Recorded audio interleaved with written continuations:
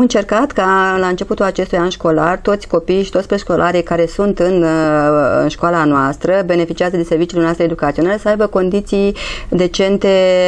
pentru actul educațional, ceea ce s-a și întâmplat. Copiii din fosta grădiniță numărul 1 beneficiază de un spațiu generos de joacă în curte pe care îl pot utiliza. Au un spațiu și în interiorul grădiniței, care iarăși este utilizat de către educatoarele de acolo. Sigur că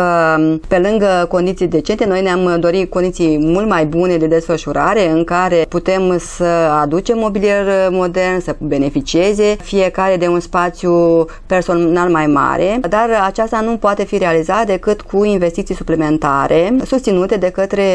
primărie, de către... Vom face toate demersurile care țin de noi pentru ca anul școlar viitor să îmbunătățim condițiile educaționale, iar pentru acest an să încercăm împreună cu